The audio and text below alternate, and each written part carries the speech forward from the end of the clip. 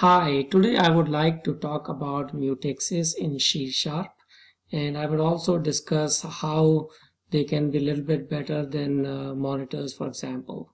So one thing to note about mutexes in C Sharp is that they can uh, be used across uh, different programs and different processes and what you can do is uh, get a global mutex so one of the simplest calls you can make is to get a new mutex and you can say it's initially owned is false for example and you can give it a name that would be global. So in this case I have a sample mutex as the name. Uh, and I'm just going to wait on this uh, mutex. And uh, at that point since I didn't acquire that uh, and I can say press any key to release the system mutex and then I can say console.readline and uh, at the end I'm going to release the mutex. So let's just uh, start this program and see what it does. So if you um, uh, see this, uh, since it was not really uh, going to be uh, acquired, it was basically passed through the wait one, there's no wait, and it acquired the mutex. And now it's really waiting for me to release the system mutex.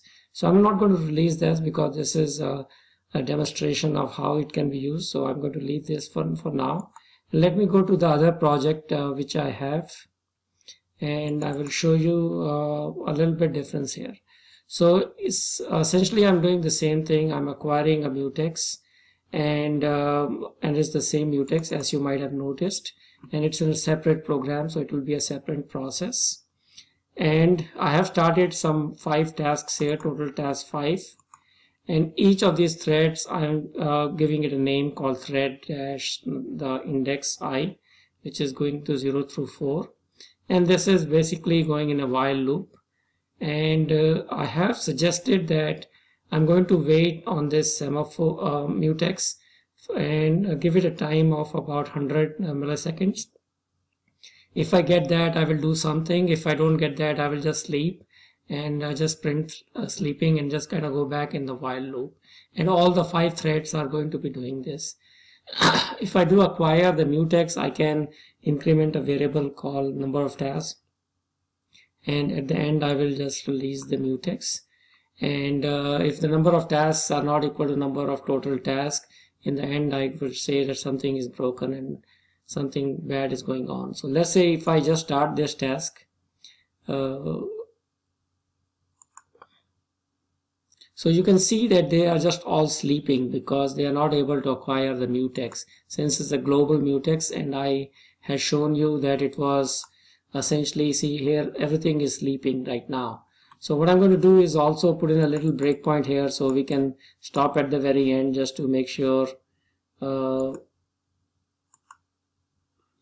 so right now it's just basically printing uh, sleeping because uh, it's not able to acquire the mutex it comes here and all these threads are essentially uh, sleeping. So if I go into my other program uh, where I had the same mutex and I press a key